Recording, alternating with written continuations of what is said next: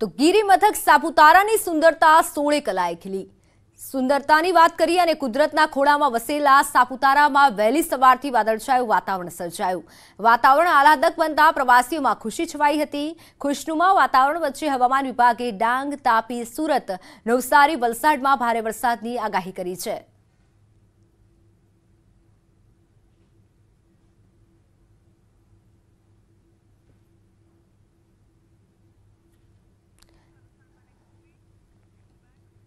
સાસણમાં સિંહ પરિવારની વસ્તી જોવા મળી જ્યારે સાસણના જંગલ સફારીનો એક વીડિયો સામે આવ્યો છે. વરસતા વરસાદમાં જોવા મળ્યો સિંહ પરિવાર. પ્રવાસીઓએ આ ઘટના કેમેરામાં કેદ કરી છે. એક માસના સિંહ બાળ સાથે સિંહણ વરસાદમાં મસ્તી કરતા નજરે પડી. જ્યારે ભારે ઉકળાટ વચ્ચે વરસાદની મજા લેતો સિંહ પરિવાર જોવા મળ્યો.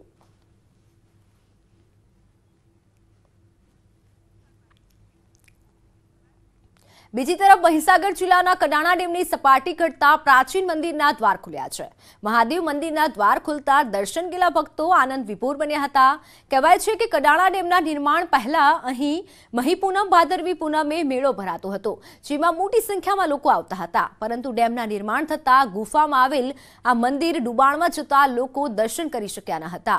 જ્યારે શિવજીનું ગુફા મંદિર ખુલતા ભક્તોમાં ખુશીનો માહોલ જોવા મળ્યો છે. બીજી તરફ મહીસાગર જિલ્લાના જીવાદોરી સમાન તેમજ કડાણા ડેમમાં હાલ નહેવત જથ્થો જોવા મળી રહ્યો છે. ત્યારે જો આવનાર દિવસોમાં ઉપરવાસમાં વરસાદ નહીં પડે, તો આગામી સમયમાં મહાજળ સંકટ સર્જાય તેવા પણ એંધાણ સર્જાઈ શકે છે. અને આ એંધાણ વચ્ચે જળ સપાટી નીચી જતા મંદિરના દ્વાર ખુલ્યા છે.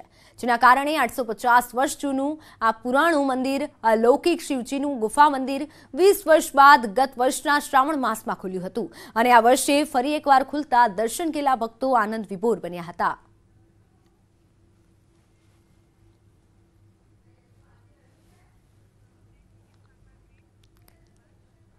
સમાચારમાં હાલ સમય થયો છે વિરામનો.